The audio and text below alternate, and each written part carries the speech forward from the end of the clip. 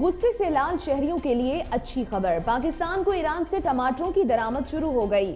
سوات سے بھی ٹماٹروں کی مختلف علاقوں میں سپلائی شروع ہو گئی ہے۔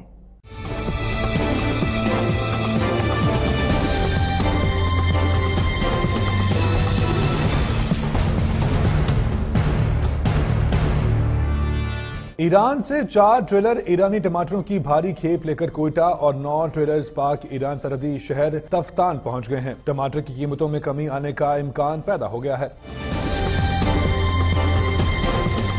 کسٹمز حکام کے مطابق ایران سے آنے والے ٹریلرز میں مجموعی طور پر چار ہزار پانچ سو میٹرک ٹن ٹماٹر موجود ہیں۔ ایرانی ٹماٹر کوئٹہ سے تعلق رکھنے والی سات نجی کاروباری کمپنیز نے درامت کیے ہیں۔ ایران سے درامت کیے گئے ٹماٹر، کراچی اور پنجاب سمیت ملک کے مختلف حصوں میں فروخت کے لیے بھیجے جائیں گے۔ دوسری جانب سوات کے ٹماٹروں کی فصل بھی تیار ہے اور ملک کے مختلف علاقوں میں ان ٹماٹروں کی سپلائی شروع ہو گئی ہے۔